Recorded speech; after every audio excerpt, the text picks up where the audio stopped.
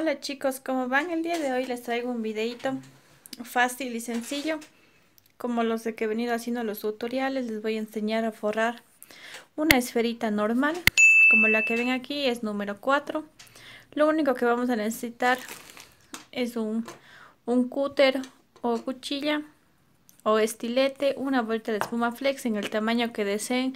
Esto es para que ustedes puedan practicar y lo que es la porcelana fría. Ahorita estoy utilizando porcelana que se, se, fabrica aquí en el Ecuador y entonces vamos a comenzar. No se olviden que siempre que vamos a forrar una esferita tenemos que sacar todas estas imperfecciones como estas uniones que hay al, en el centro de la esferita.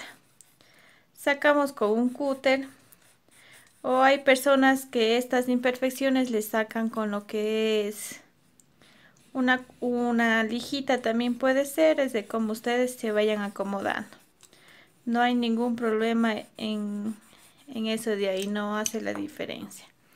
Entonces limpiamos nuestro, nuestra parte como la que ven aquí y vamos a proceder a lo que es la porcelana.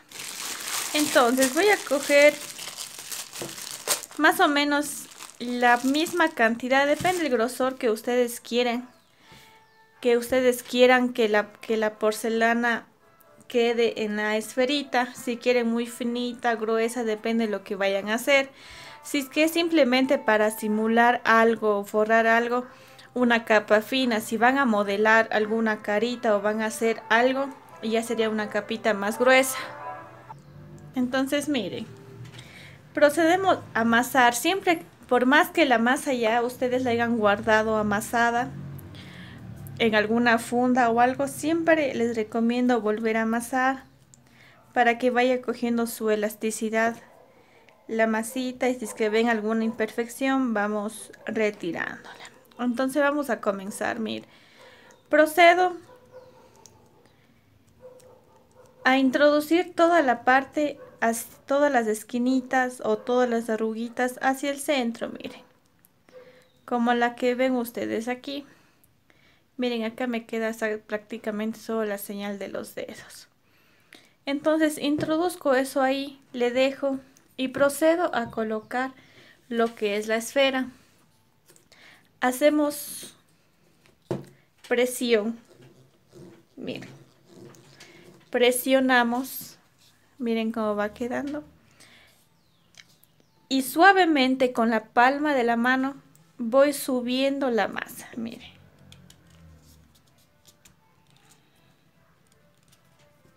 La cantidad de masa de la esfera que van a utilizar siempre es las tres cuartas partes del tamaño de cualquier esferita. Entonces vamos subiendo. Miren, llegamos a este punto. Miren, llegamos a este punto y vamos a tratar de cerrar nuestra esfera. Miren aquí ya simplemente utilizamos lo que son los dedos. ¿por qué no le coloqué goma? como la masa está totalmente fresca no voy a necesitar goma simplemente coloco la masa y comienzo a forrar. Mire y solo con las palmas de la mano voy perfeccionando lo que es la esfera puliendo. Si es que yo presiono esto así con la mano, miren, me va a quedar totalmente las, las huellitas. Pero si yo hago con las palmas de la mano y hago presión, bastante presión, voy a, lograr que esta esfera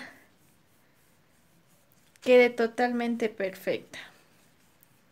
Este es una, un forrado básico de cualquier esfera la pueden realizar en tamaños diferentes al que ustedes estén necesitando en el momento de trabajar. Miren. Como que aquí está la señal de los dedos. Si ustedes quieren, no necesitan una perfección total, que la masa no tenga arrugas o algo. La pueden dejar, pero si ustedes necesitan que esté totalmente perfecta porque se va a ver, la siguen puliendo. El pulido es solo con las manos. Yo el movimiento que realizo es la mano derecha hacia abajo y la mano izquierda hacia arriba y así voy rotando y voy haciendo girar la bolita, mire. voy a hacer lentamente para que ustedes vayan viendo y así hago con presión para que se vayan puliendo y se vaya adhiriendo la masa totalmente a lo que es la esfera y entonces aquí tenemos la, esferita forrada completamente de aquí ya depende de ustedes cómo lo quieran hacer entonces, este es el videito del día de hoy, espero que les haya gustado, no se olviden de suscribirse a mi canal, darle like y compartir. Y en la cajita de descripción les dejo mis redes sociales para que vayan y me sigan.